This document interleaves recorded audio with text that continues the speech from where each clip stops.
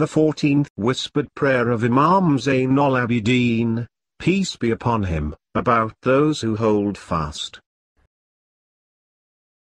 بسم الله الرحمن الرحيم In the name of Allah, the All-Merciful, the All-Compassionate.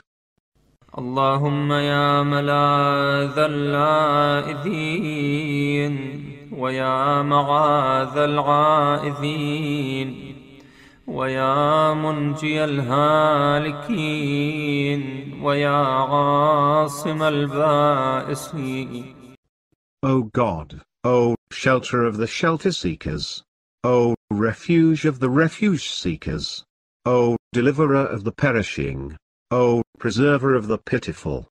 ويا راحم المساكين ويا مجيب المضطرين ويا كنز المفتقرين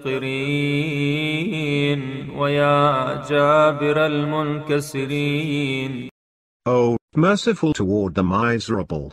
O responder to the distressed. O treasure of the utterly poor.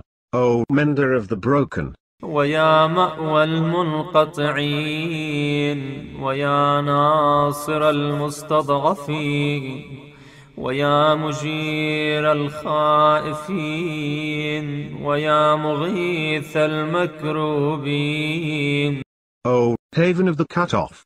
O helper of the abased. O granter of sanctuary to the fearful. O aider of the troubled. ويا حصن اللاجئين إن لم أعوذ بعزتك فبمن أعوذ O fortress of the refugees! If I seek not refuge in thy might, in whom shall I seek refuge?